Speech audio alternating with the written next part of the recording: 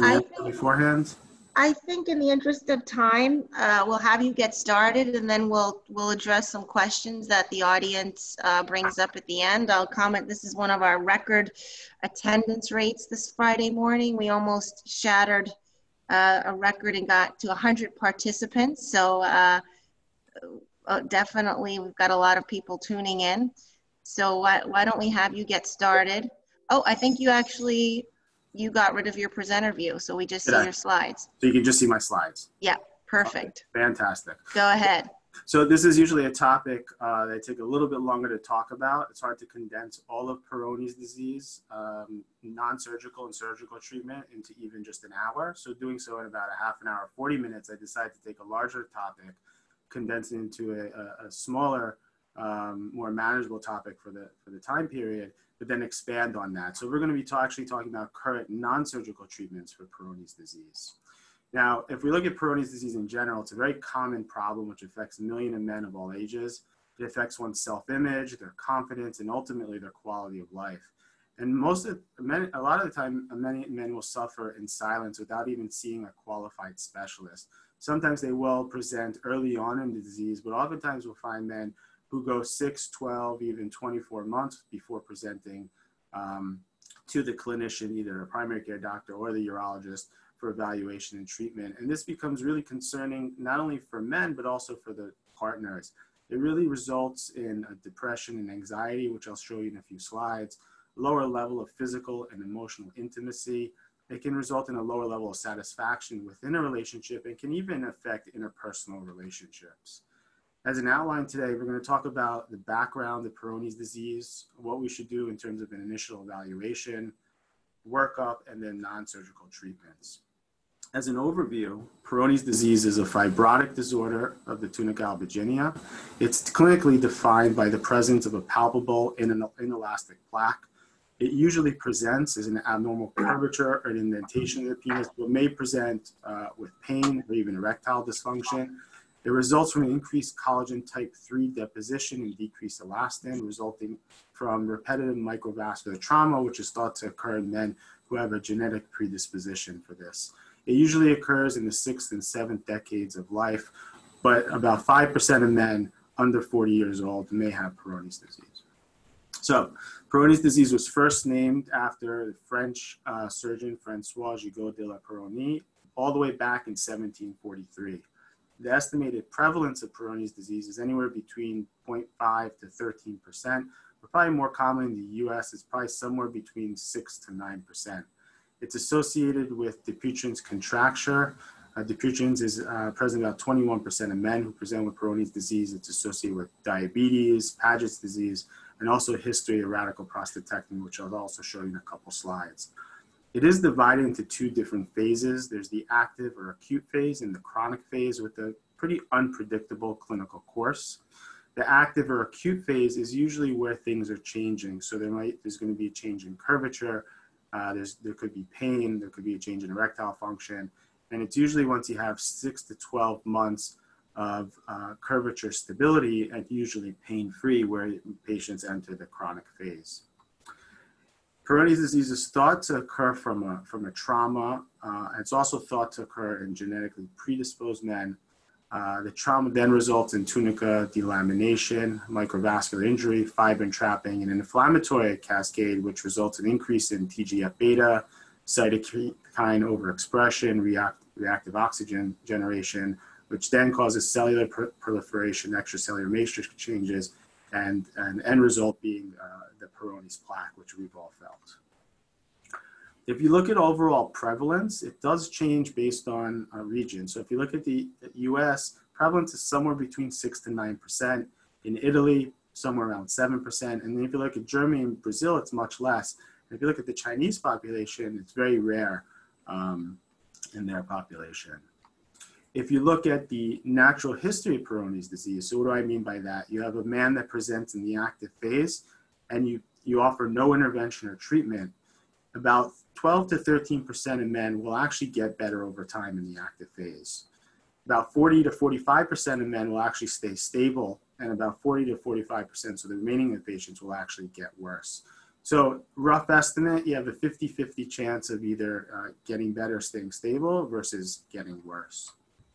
If you look at men uh, after radical prostatectomy, Dr. Mulhall was actually one of the first to show us that the incidence of Peyronie's disease is actually higher in men after radical prostatectomy. It's anywhere between 16 to 18% of men. And men may present um, with a curvature, which is most common, but also two thirds of men can present with a palpable plaque.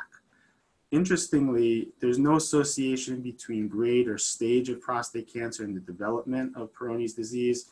Nerve sparing versus non-nerve sparing doesn't seem to make a, difference. And uh, intraoperative uh, variations also don't seem to change the, uh, the incidence of, of post radical prostatectomy Peyronie's disease. It is associated with white men who are younger than 60 years old.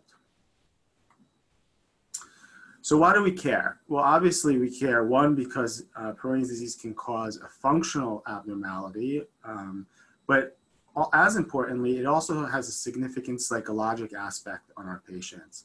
Now, 81% of men will present with some emotional difficulties, and as many as half of men, 50% of men, will not only have relationship issues, but actually present with clinical depression as a result of the Peyronie's disease. So when we're seeing these patients and evaluating these men, it's important not only to kind of address the physical aspect, but somewhat the psychological and emotional aspect of, of this disease as well. Overall, when you assess a man that's presenting with Peyronie's disease, you really want to understand the onset. Did this start two weeks ago or did this start two years ago? Was there a trauma or inciting event that happened? Um, and you want to get a good assessment of their curvature, um, their direction of curvature, and their degree of curvature. Now, there's poor correlation between a patient reported curvature and the actual curvature that you might see on a picture or in an in-office assessment, but it's important to get the patient's perspective of what they think their curvature is. You also want to know, importantly, what their erectile function is currently, uh, and if there's any penile instability or hinge effect um, with their with their erections. You want to ask them about pain. You want to ask them about how stable their curvature has been. And you also want to know what kind of medications or prior treatment they've had so you don't repeat things. And probably as important, if not more important, as all these other factors, is you really want to understand how bothered they are by this, uh, by their Peyronie's disease. If they're able to have sexual activity uh, with minimal problems and they're minimally bothered by their current curvature and they're just there to get a little bit more information, that's going to be a lot different conversation, much different conversation than a man who's presenting with severe distress, inability to be sexually active with his partner, uh, and a severe curvature. So what are some factors? We talked about some factors that are going to dictate treatment. So disease stability is going to be important. If they're in the active phase, you might consider observing them. You might consider, consider some, some medications if they have pain, like non-inflammatory NSAIDs um, or even PDE5 inhibitors and antioxidants that we'll talk about in a little bit. Um, if they have, if they're more bothered um, and you're thinking about an interventional treatment like intralesional injections or surgery, then you really want to do a curvature assessment. And you could do that by a number of ways. You can have the patient bring uh, photos in. You can assess them using a vacuum erection device. But most importantly, most accurately, is going to be with an in-office assessment with in- intracavernous injection and then using a goniometer to measure the curvature. At the same time, it's really important to assess the erectile function. And one um, non-invasive way that you can do that is using the penile Doppler at the time of the in-office assessment with your intracavernosal injection. When we think about erectile dysfunction or erectile function in men with Peyronie's disease, we really want to understand what's causing this erectile dysfunction because again, that's going to help dictate uh, your treatment protocol and your recommendations. Is there erectile dysfunction because they have performance anxiety related to their penile deformity? Uh, do they have a flail or hinge penis which causes uh, distal penile instability? Is the fibrosis from the Peyronie's disease causing a veno-occlusive disorder? Or do they have an underlying arteriogenic or organic cause of the erectile dysfunction? And all this can kind of be parsed out using uh, penile Doppler as well. So moving on to treatment options. Well, non-surgical treatment options have actually been available since the 1700s when it was first described. by de la Peyronie. Things like arsenic, radiation therapy, UV light, vitamin E, laser ablation, more recently in the 90s, interferon and verapamil injections, and, and much more recently, medications have all been described for the non-surgical and medical treatment of Peyronie's disease. Luckily, in 2015, the AUA put out Peyronie's disease guidelines uh, and uh, really condensed all the prior literature and information into a very nice, succinct document to help us understand what the evidence is um, and what treatment protocols actually uh, were beneficial. So what they said in, in, basically in synopsis is basically vitamin E, Potaba, tamoxifen, colchicine, and carnitine had very little benefit or no benefit in the treatment of Peyronie's disease. They, they, all, they went on to say that pentoxifylline, which thought to downregulate TGF beta, and L-arginine or PDE5 inhibitors, which is thought to block the effects of, of TGF beta, had some benefit and uh, improved in vitro and in vivo in improvement in, in plaque and also penile curvature. One of the first studies looking at tadalafil use uh, with Peyronie's disease came out of the SMSNA. It was an open label study using tadalafil five milligrams a day. And what the authors found was about 42% of men had a decrease in curvature in the active phase between 20 and 40 degrees, and up to 17% had a complete resolution of their curvature. Dr. Brock uh, group published um, an article in 2011 in Journal of Sexual Medicine, and he looked at men with septal plaques treated with uh, two and a half milligrams of daily tadalafil. And what he found is about 70% of men had actually a resolution of their septal plaque versus 10% of controls. So this is uh, some of the evidence that supports potential use of, of tadalafil in, in the active phase. What about intralesional injections for the treatment of Peyronie's disease? Well, intralesional injections have also been around uh, for about 30, 40 years. These next two slides I took with the um, uh, permission of Dr. Mulhall. Um, this shows Dr. Hellstrom, who first popularized the use of interferon, uh, intralesional injections. And basically, you can see on the right side a wide range of, of success with this use. Anywhere between 3 to 67% of men had a decrease in curvature um, with use interferon.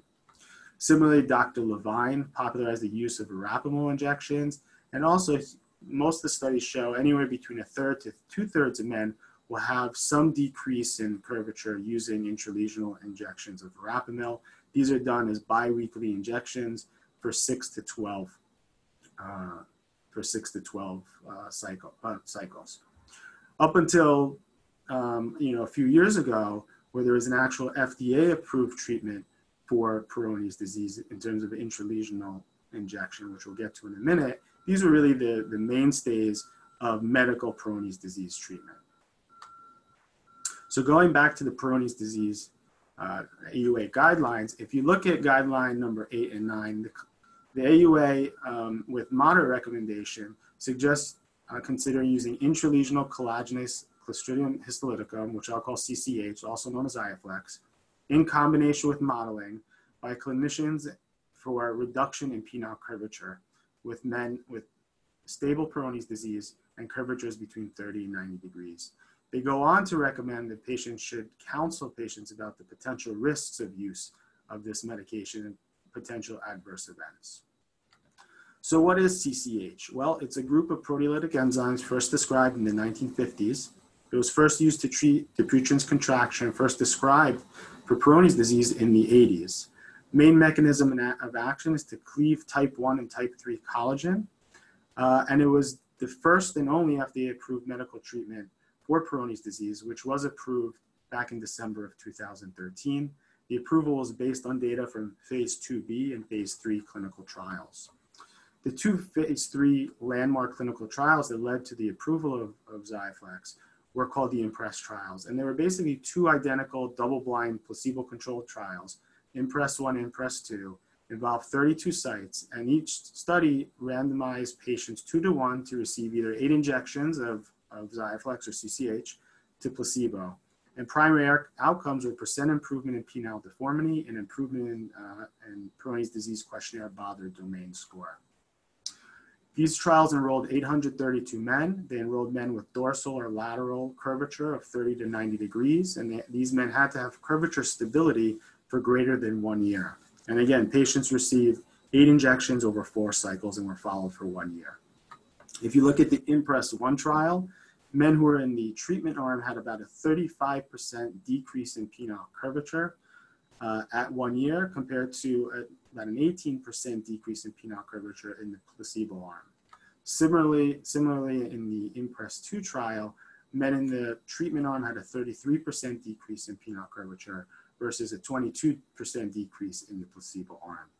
In aggregate, overall, the mean percent change in the treatment arm was about 34% compared to a decrease in curvature of about 18% in the placebo arm. And this correlated to about a 17, on average, a 17 degree decrease in penile curvature from start to finish in the treatment arm.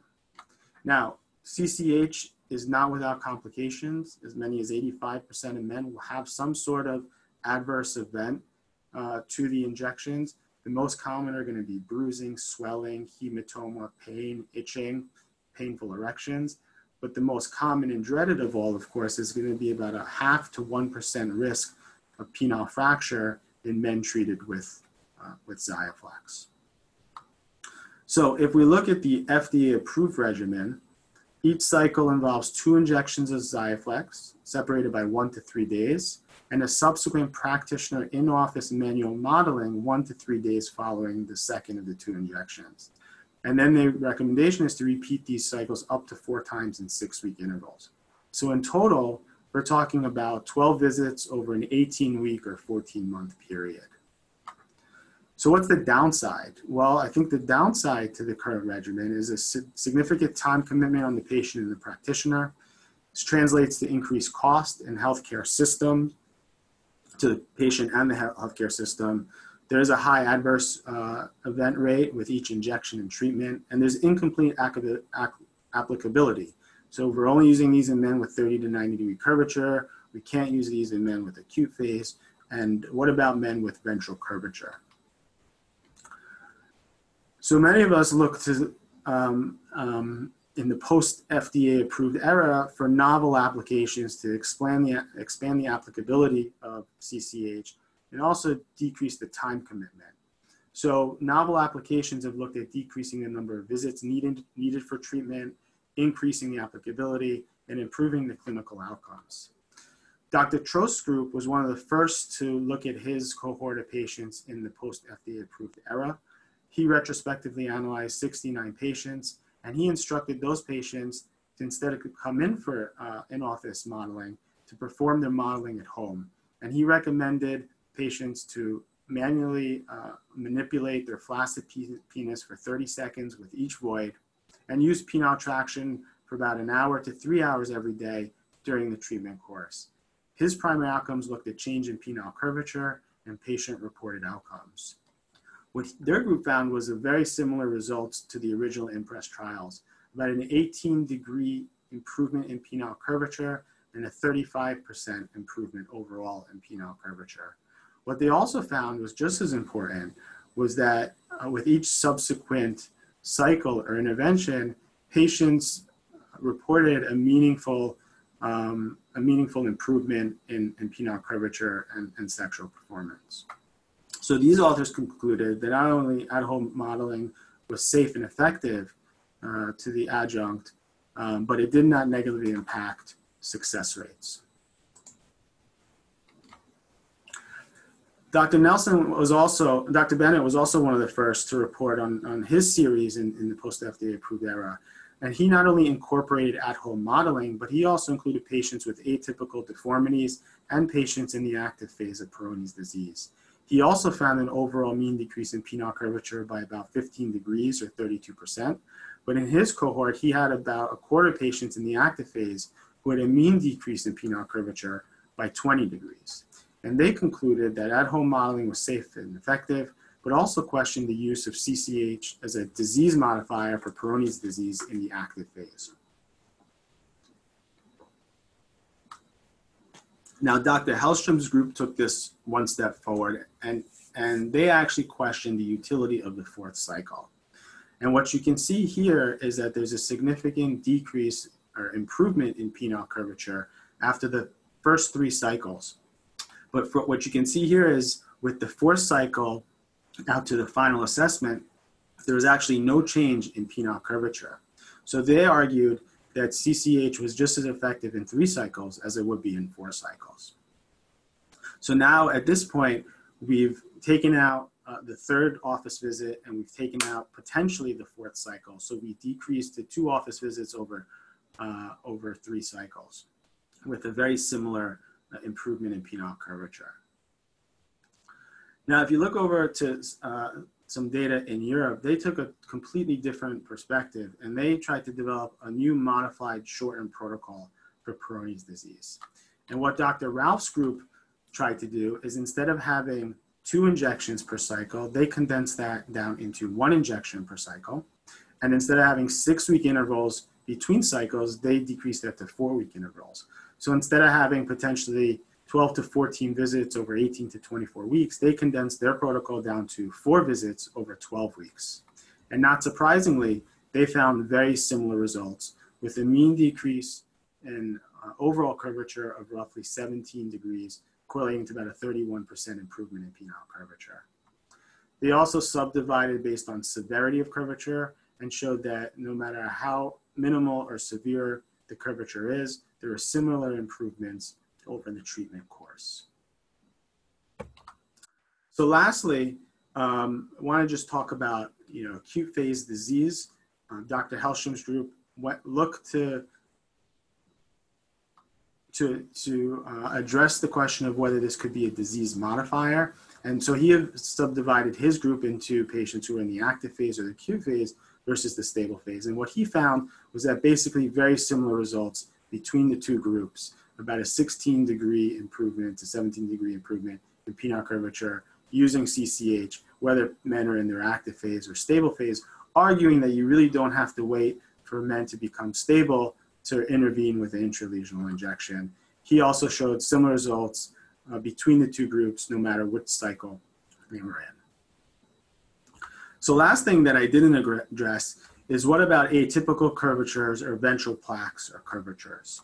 Well, CCH has been actively studying the treatment of urethral stricture disease. The reason I say this is one of the concerns with using uh, CCH for a ventral plaque was potentially a higher risk of penile fracture or even potential risk of urethral injury or stricture formation. One of the first reports of using XIAFLEX uh, in a ventral uh, plaque was um, presented at the SMSNA in 2015, where two patients were treated with CCH and both patients had a significant improvement in penile curvature with no long-term side effects. More recently, in 2019, again, Dr. Trost group published on his series, and they actually had 11% of men with ventral curvatures. And interestingly enough, if you look all the way to the right, men treated with CCH who had ventral curvatures had a significantly higher improvement in penile curvature when compared to men with lateral or dorsal curvatures men with ventral curvatures actually improved by, on average, 50% compared to men with lateral curvatures who improved by about 38% and dorsal curvatures who had the worst improvement of about 25%. When, looking, when delving a little bit deeper, men with ventral plaques actually were more likely to have a greater than 50% improvement seen here by the dark blue bars. They were more likely to have a greater than 75% improvement and a greater than 90% improvement compared to men with lateral plaques or dorsal plaques. So in summary, CCH, although not the holy grail of Peyronie's disease treatment by any stretch of the imagination, is the only FDA approved non-surgical treatment for Peyronie's disease. The current protocol reg regimens are time and resource consuming, but there are alternative protocols which have been proven to be safe and effective as the standard protocols. An expansion of inclusion criteria may be considered proper counseling for men with active phase of disease and also with men with uh, atypical curvatures or ventral curvatures. Now, before I, I, uh, I, end here, I do just want to briefly touch on surgery and, and, and indications for surgery and what we need to think about um, when we are counseling patients for, for surgery. So if we're going to consider a man for surgery, we want to make sure, or try to make sure that he's pain free and has stable deformity for at least six months. So no change in curvature for at least six months. Um, we want to understand whether their deformity actually impairs sexual activity. Um, if they have severe erectile dysfunction, then that would be a, a, an indication for surgery. If they have penile instability, uh, men who have ex extensive plaque calcifications, which you can see with shadowing on a, on a penile ultrasound, probably aren't good candidates for conservative treatment or for intralesional, intralesional injections. And those men should probably be counseled on surgery up front. And then, of course, if, they've if men have had not, failed non-surgical treatment uh, and require additional treatment, those are also uh, men that you would talk to surgery about. Interestingly enough, about 50% of men who have uh, 50 to 60% of men who undergo um, treatment um, will forego the need uh, for surgery. When you're going to consider surgery and the type of surgery you're going to perform, things to consider are going to be the nature of the deformity, whether there's an hourglass deformity, whether there's a, a complex multiplanar curvature. You want to consider the location of the deformity, uh, which will dictate potentially the site of your incision. You also want to understand their erectile function. If they have poor erectile function, you probably just counsel them on a penile implant.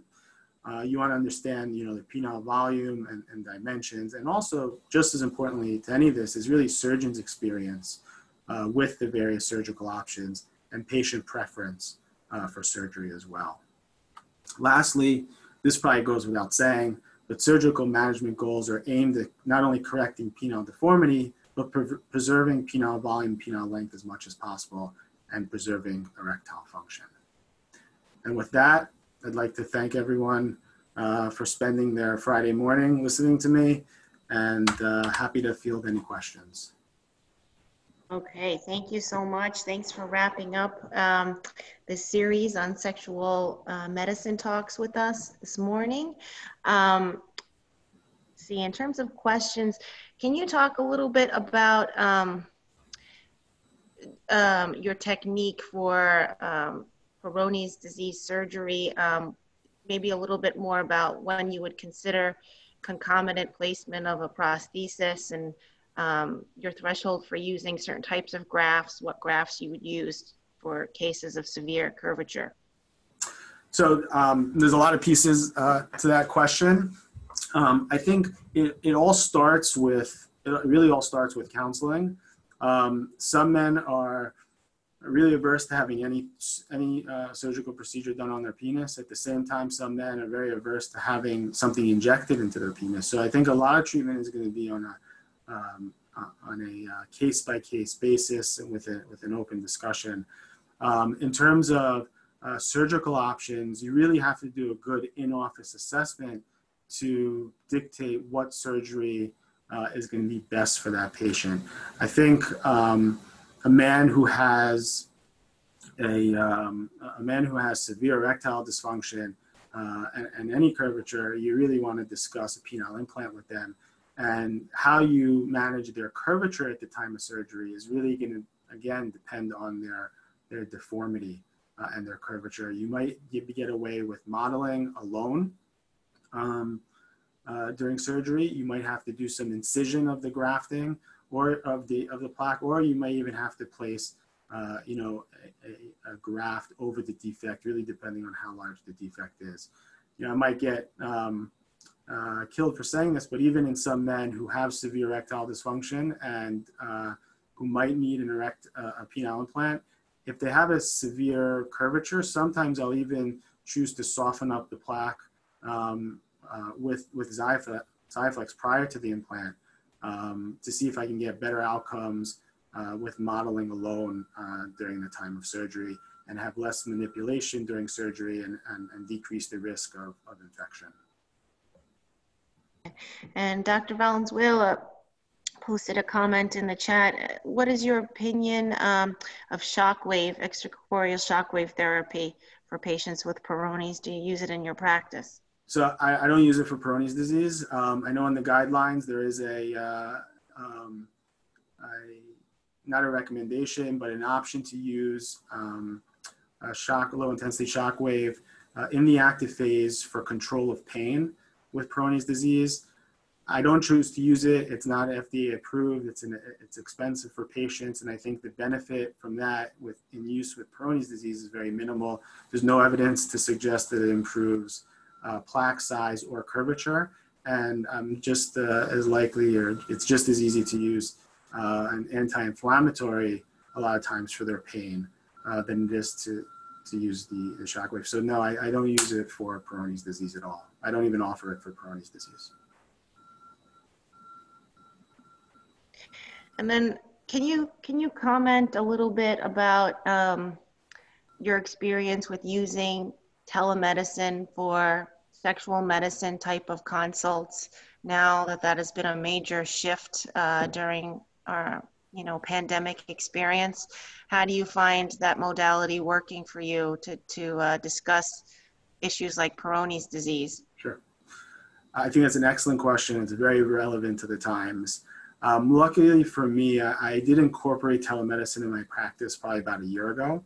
So once a week, Thursday afternoons, I'd have between six and 10 telemedicine visits.